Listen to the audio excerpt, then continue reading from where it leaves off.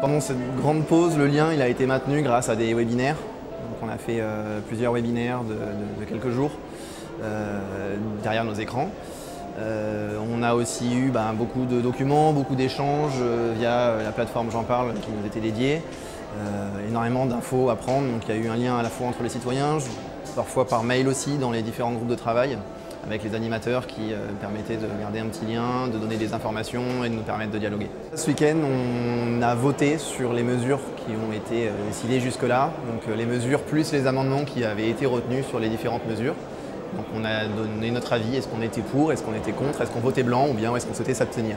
Parmi les mesures que je connais le mieux, a celle que j'ai présentée en hémicycle, qui est donc limiter les effaces du transport aérien, avec par exemple l'adoption d'une éco-contribution renforcée sur les billets d'avion, en fonction de la distance et du type de classe économique, euh, affaires ou bien encore des jets privés, qui permet, euh, via l'argent récolté de cette éco-contribution, de financer euh, les infrastructures bas carbone, donc typiquement les lignes ferroviaires à grande vitesse, qui permettent de se déplacer sur de grandes distances rapidement et donc sans avoir recours à l'avion qui est extrêmement polluant.